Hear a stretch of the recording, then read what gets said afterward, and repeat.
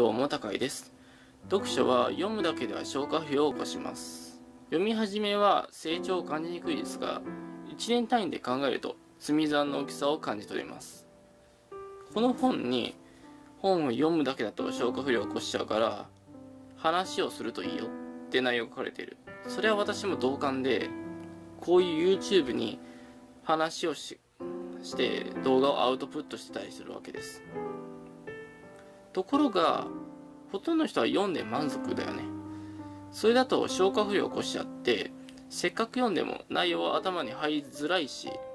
一番の問題は読んだとしても頭の栄養にもならずしかも頭が劣化していく。その可能性があるってこと。これはもったいないよね。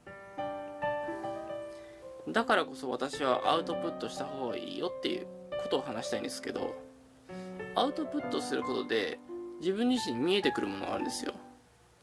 私は YouTube4 年目ですけど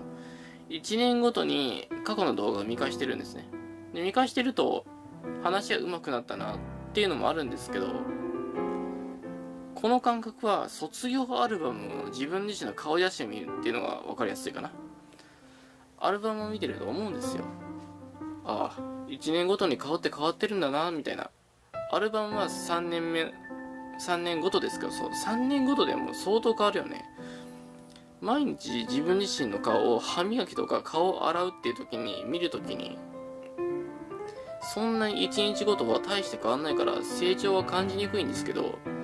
アルバム単位だとかあとは壁にこうやって背を持たれて身長を測る時に傷を壁につける。そしたらあ結構伸びてるんだなって感じ取りやすいですよね。これをアウトプットで1年ごとの経過を見ていくと結構違うよねっていうのは分かりやすいこれが毎回毎回1週間単位とかでやってるとあれあんまり変わんないんじゃねって思っちゃうんですけどねだからアウトプットって重要だよねって話なんですもしも本読んでいていや俺大して成長してねえなとか思ってる人がいるんだったらこうやって私みたいに YouTube でもいいからアウトプットする。そしたら成長の路線っていうのは見やすくなるのであなた自身も読書をする場合はそういうことをやってみるともしかしたら読書を続けやすいかもしれません。